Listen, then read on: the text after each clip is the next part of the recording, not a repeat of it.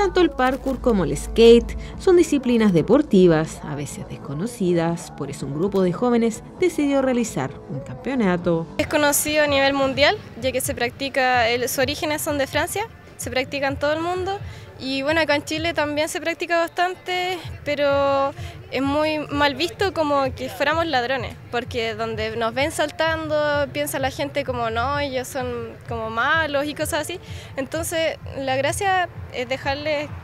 claro de que nosotros no somos ladrones, tenemos una vida sana, es un no, no es más que nada un deporte, sino que es una disciplina. El objetivo final de esta actividad no era solo la competencia, sino que también brindar los espacios necesarios para practicar estos deportes. Falta mucho espacio, eh, si tenemos solamente este espacio, que es un hoyo como ustedes ven,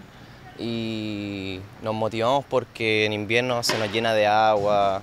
las rampas las tenemos malas, no hay apoyo,